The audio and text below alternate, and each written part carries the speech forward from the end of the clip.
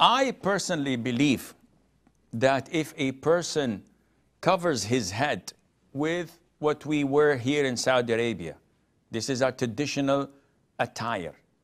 Or if you go to places like Sudan, where they have the turban, or where you go to places like Morocco, where the traditional is a red hat, or some, sometimes it's uh, done in Syria in the Levant region.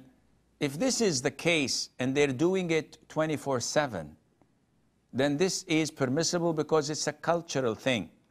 The thing that I am totally against and opposing to is when it is connected to a form of worship, meaning a person wants to go to pray in the masjid, he takes out a kufi and he wears it and he prays, and after he finishes, he takes it off and puts it in his pocket.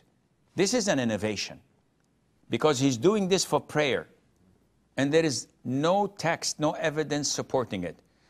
In the subcontinent, I was shocked to see people who do not have this kufi, but they have a handkerchief where they put it and neatly tie the edges so it would cover their head like chefs in kitchens, only to pray and come out and take it off.